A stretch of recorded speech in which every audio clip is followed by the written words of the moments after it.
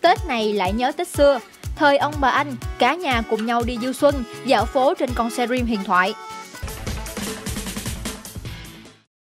Xã hội hiện đại, cuộc sống bon chen cùng với những nỗi lo cơm áo gạo tiền đã khiến nhịp sống của con người trở nên nhanh hơn.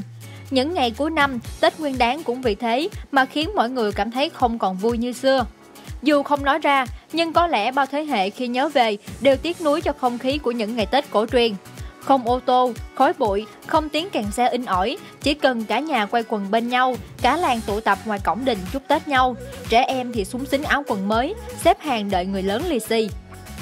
Thay vì những chuyến đi du lịch đến trời Tây hay các khu vui chơi nổi tiếng, Tết của mấy mươi năm trước là khung cảnh bình dị.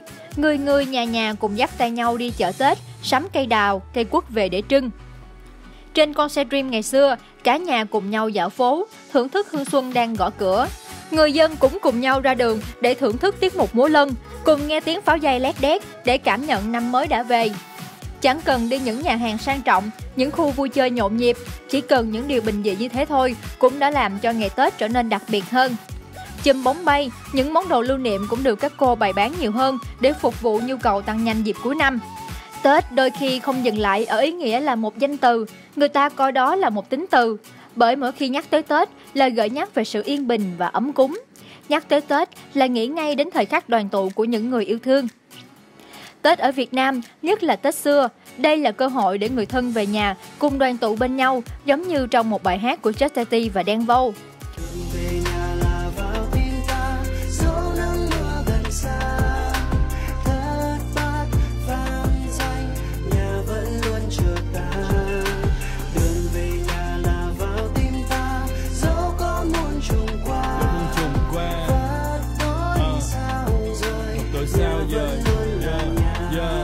Cùng nhau hân hoan bên mâm cổ, mọi người chuyện trò, cùng nhìn lại một năm đã qua và gửi đến nhau những lời chúc năm mới an bình hơn. Khoảnh khắc các thành viên cùng ngồi bên đĩa mứt, thưởng trà, đơn sơ mà bình yên đến lạ. Tết đôi khi chỉ cần như thế, lời ngồi cạnh nhau trong giây phút đón chào một khởi đầu mới.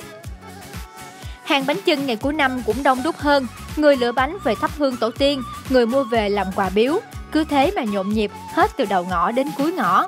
Khắp các khu chợ, người cành đào, kẻ cây quất, ai cũng muốn mang về nhà không khí của ngày đầu năm.